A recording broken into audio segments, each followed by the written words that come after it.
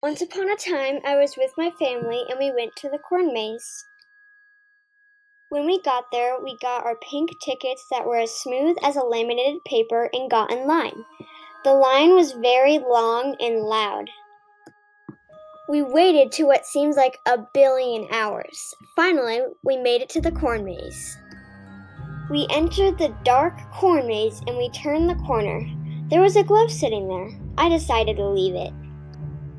Then we found a black cat sitting there, as still as a statue. I leaned down to pet it, but I stood back up and kept going with my family. But the black cat followed us. We were almost done with the maze when the black cat jumped out in front of us. I reached down to pet it. The cat's fur was really soft. I heard a big zooming sound and I saw the ground rumble. I froze in my tracks. All of a sudden, a big hole opened up, and me and my family got sucked inside the eerie and huge hole. We went down and down until we reached the bottom and found ourselves on the grassy ground.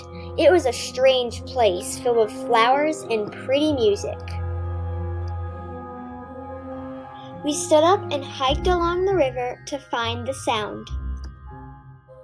We saw a humongous castle. We hiked closer and saw ticket booths, lots of people, and rides all over. In excitement, I read the sign. It said Disneyland. I was so happy, I did a cartwheel. We bought our tickets and rode so many fun rides until midnight.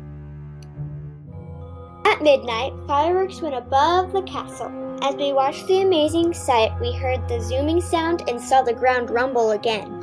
We thought it was time for us to go home. Soon as we said that, the black hole opened up and we got sucked back inside the real world again. We safely went home in our car. I plopped down on my comfy bed. My mom and dad came in and said, Well, now we all know what Disneyland looks like. Finally, they kissed me goodnight and turned off the bright light. Maybe we could go again next year, I thought. I said maybe as I dozed off to sleep in my cozy blanket. I thought that was the best day ever. The end.